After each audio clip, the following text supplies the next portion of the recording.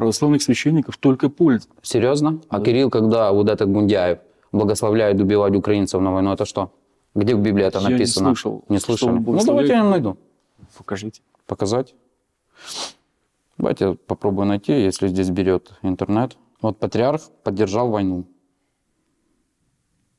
И поэтому сегодня особая молитва наша о вооруженных силах, о наших воинах, с которыми связывается надежда на безопасность, на свободу, на подлинную независимость нашей страны.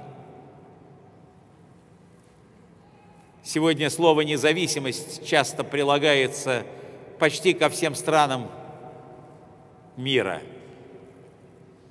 Но это неправильное определение, потому что большинство стран мира находятся под колоссальным влиянием одной силы, которая сегодня, к сожалению, стала противной, противостоящей силе нашего народа.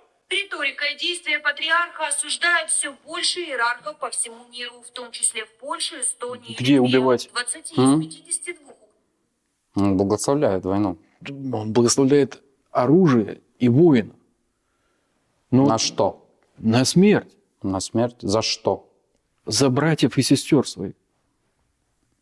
Мы пришли За каких братьев и спасти сестер? братьев и сестер украинцев. Оружием? А как спасти э, братьев, брата и сестру, которых хотят убить? Кто хочет убить? Американцы? Американцы хотят убить украинцев? Да. А как они их Они хотят устроить жесткий геморрой России руками украинцев.